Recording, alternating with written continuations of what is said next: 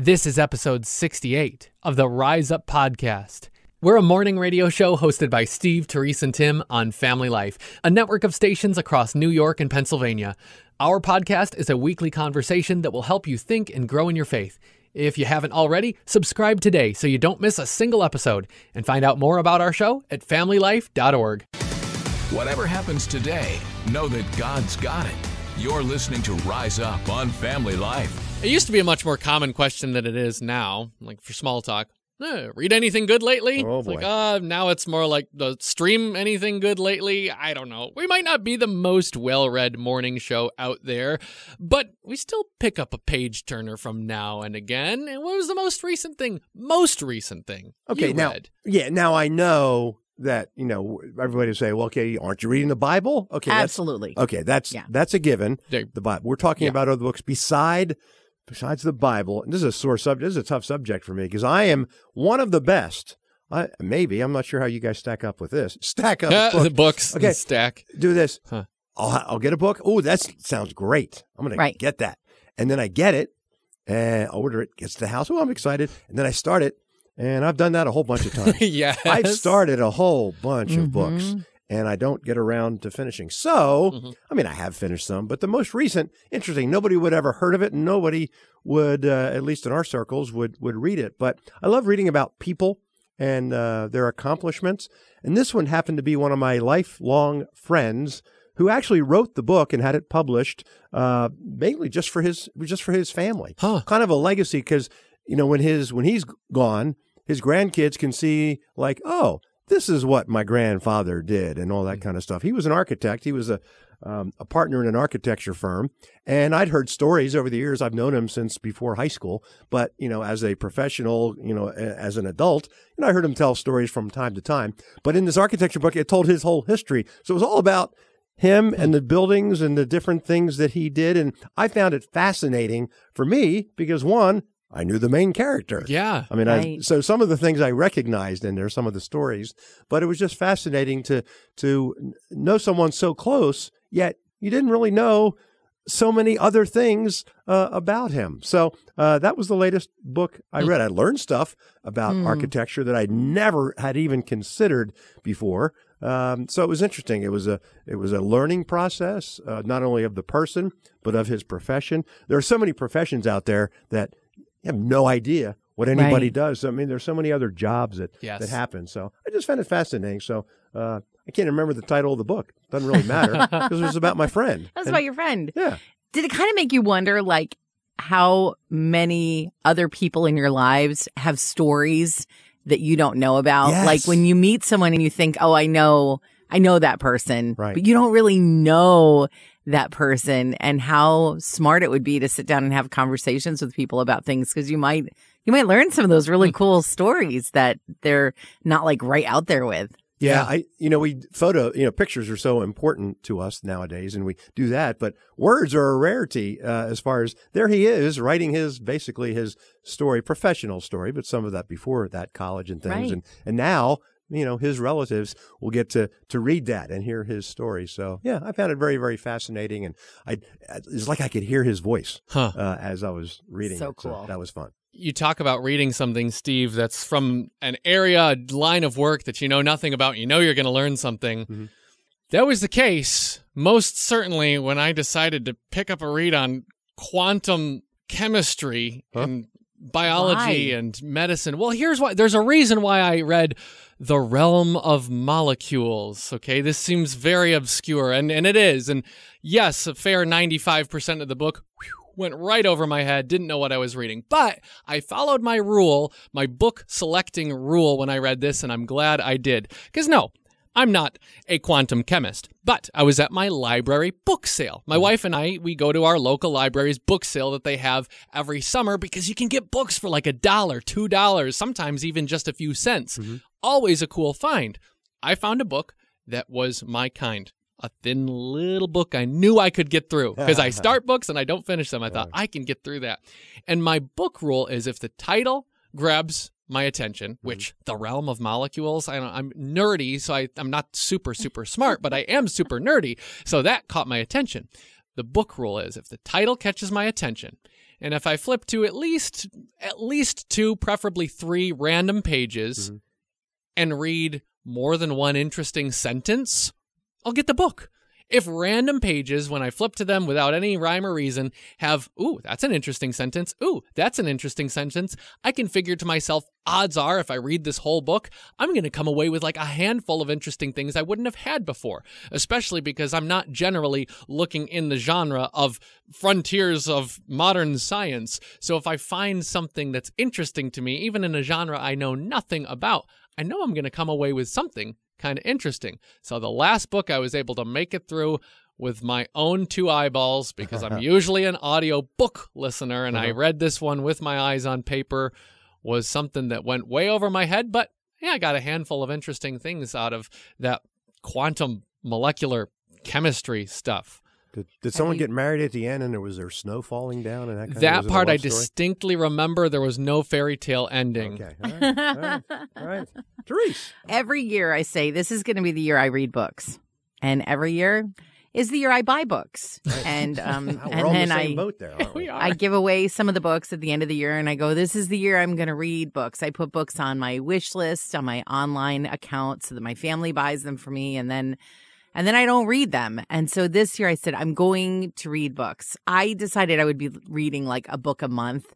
Well, here it is, May. I've read one book. Hey, but you know what? I don't something. know if I finished a whole book last year. Right. And for me, it's kind of unusual hearing your choices because both of you had nonfiction books, and I am a fiction book reader. I like when a book takes me to a different place.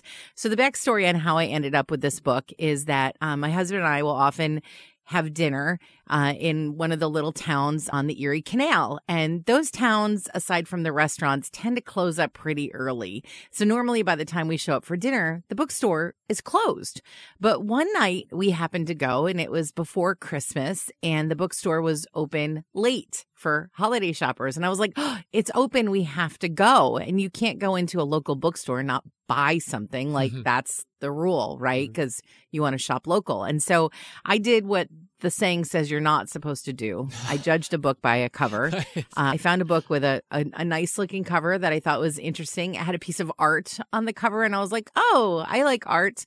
The the piece of art on the cover did have to do with the story, but not as prominently as I had hoped. The book was called The Dutch House, and it's basically a story, kind of a character profile story of this brother and sister through like 50 years of their lives and how this house plays a role in their ever changing lives and how the house also changes. And I didn't love most of reading it. It's told from the first person of the brother in the book. I didn't have a lot to relate to with him, Hmm. but I was like, I am going to finish this book. So much so that I committed to taking it on vacation with me because I knew that when I finished the book, I would just leave it at the hotel, either in the room, maybe the housekeeper would want to read it, or like in the laundry room, maybe another guest would want to read it. I knew that this was not going to be a book that I was going to bring home to my permanent collection or pass on to any of my friends. And so I did finish the book. And the very last bit of the book is about accepting the things that have happened in your past for what they are and realizing that they don't have to determine your present. And hand in hand with that is the idea of forgiveness. Let go of some of the things that people did in the past that weren't so nice. And so, even though it was a little bit of a drudgery for me to get through this book, it wasn't really my style. I did make it through, and I'm glad that I did because what a cool metaphor for life. You know, sometimes the things we walk through are not easy, and it's easy to just give up and say, I'm not going to follow this through. But if you do follow it through, you might get to a point where you have some reconciliation, some forgiveness, where you get some perspective on the things that maybe happened to you years ago Hmm. that hurt that you haven't quite let go of. I have an idea, guys. Since all three of us are in the same, you know, we buy a book, Yeah. don't read it. Uh-huh. You've heard of, you know, people have book clubs, Right. Where they Mm-hmm. get, they all get the same book. Uh huh. Uh huh. They all get together and discuss it. Why don't we start our own book club where we all go buy the book Yeah. Right. Uh huh. and just never meet?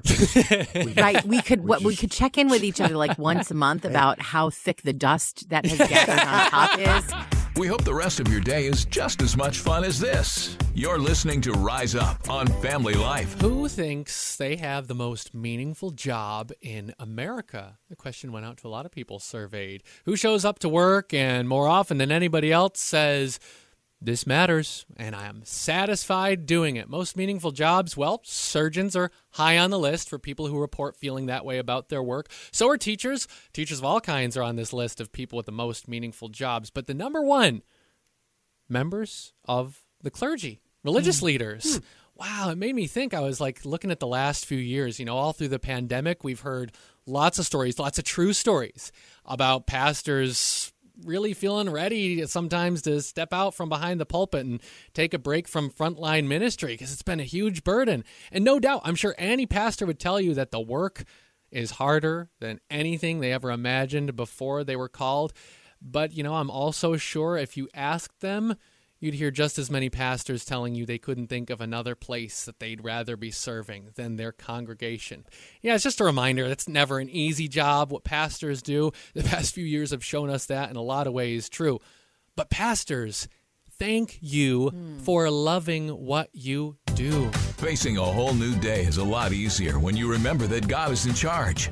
You're listening to Rise Up on Family Life. That's why I don't make predictions. Uh, I've learned over my lifetime the things that I thought, oh, this is going to be, this is the greatest thing ever. It's going to be around forever, and then it disappears. Like, for instance, uh, well, I remember when I first got my TiVo. The recording device, the TiVo. TiVo, it's like, oh, this is going to be, well, and, and in a way, it kind of is because, well, the, the TiVo, I think in, a- in a way, the TiVo, it has stuck around through other DVRs, you know, digital. Okay. So that was a digital, you know, video recording device, and so that somewhat is still around. But here's the main thing that I thought: I was convinced. You remember that time? It, it was a while back that for like three or four months, we were. Well, I was convinced that segways were going to be around forever. They're going to build cities around these things. Yes, that was how we were going to get to work. Like Exactly. coming in on our Yeah, little segue, exactly. right? Now- Future is here. Yeah, now it's only in like you know mall cop movies and stuff like that, or different things like that. Never really. I High probably quality entertainment. Exactly. I probably should have known it wasn't going to last forever. This my my clue would have been I didn't even know how to spell it correctly. I, was it S E G W A Y S or S E G U E? Segu? Segu. Segway? Segue. I should have known. It would have really When you lasted. ride to work, though, that looks really cool. It does look cool. It's okay. You can go back to bed in about 16 hours. In the meantime, thanks for listening to Rise Up on Family Life. I remember when I was coming to terms with the reality of being a beard person. Not like ever full Duck Dynasty, but like people would say, "Oh, he's the guy with the beard," and I'd yeah. be like, oh, Right. Right. "Ah, I guess that's me. I guess I'm the beard guy. Yeah. I've been the beard guy for a while, and you two can see me right now. You know this has changed. Mm-hmm. I, I, I don't even know how to say it. It feels strange coming out of my mouth, but I'm now the mustache guy. Yeah. No beard. They're the beardless guy, but the mustache guy. Now the mustache Right. guy. It's it was a choice. different Not- one. wasn't I thought it like was a caterpillar. Yeah, no, it- okay. it- it's not a caterpillar. just but crawled thank- up on your lip. I was going to tell you. That's that's helpful. Thank you. That's- it, uh, it wasn't like a slipped with the trimmers Right, kind of. right. Now I'm a Yeah. Mm-hmm. mustache guy. It was deliberate. It was, Right. You know, the important people in your life. My wife said, "You know what? I think you should try a mustache." Ooh. And that was a few months ago. I was like, "Mm, nope, not going to happen, honey. I don't think so. Okay. But it was time for a change, Mm-hmm. and the mustache happened. Now I mentioned important people in my life because my wife said, "Hey, I like it. Let's change it. Let's do this. I Good. like it." I happened to do the trimming after my daughter went to bed. She's a toddler. I've had a beard her whole life. Ah, that's so right. Mm-hmm. this was like the what's she gonna think when I get home? Yesterday Toddlers are so good day. with change. Yeah. yeah, I learned that. I learned that when I tried to get her up from her nap after I got rid of her Mm. favorite daddy beard. It's like, what is not on your face, Dad? What is missing from your face? It was a it was a transition. We're still working through it, my little girl and I. But I think with a few more few more rides on the lawnmower, a few more dance parties, a few more of her favorite things, and maybe I'll Uh-huh. win her back into my court. Right. The good news is Uh huh. God looks on the inside, Tim. He How much- does. Yes. I just gotta tell my, my toddler that. Look at me like God does, honey. Reminding you that God is in charge today and every day. It's Rise Up with Steve, Terese, and Tim on Family Life. Okay, Sunday brunch. Uh-huh. Do we do the thick waffles or do we do the mini cabbages? Oh, I love the Belgian waffles. You're going to go with Belgian waffles. Or Brussels sprouts? Belgian. it's the same country, right? Yeah, that's true. Brussels, Belgium. yeah. Oh, wow. Huh. I never thought of that. Huh. All right, I make these sauteed Brussels sprouts with balsamic glaze, and we will be serving those on mm-hmm. Mother's Day. Now, 40 years ago, that would have been an insult to my mother in law because back then, sprouts were just nasty. The waffles were good then, and they are now, but Right, the that- sprouts didn't taste as good. It is not your imagination. It's not that your palate has matured. Okay. Brussels sprouts in the 80s and the 90s were like, Ugh.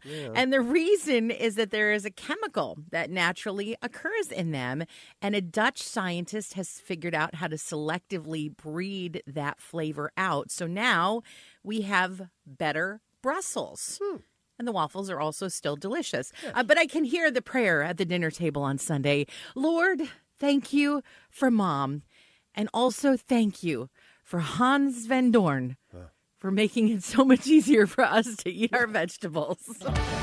Don't hit the snooze button. Come join us. It's Rise Up with Steve, Terese, and Tim on Family Life. They say you can't fold a fitted sheet. Today, I'm going to show you how. From the minds that brought you school lunches, bedtime stories, and relationship advice comes Masterclass Mom.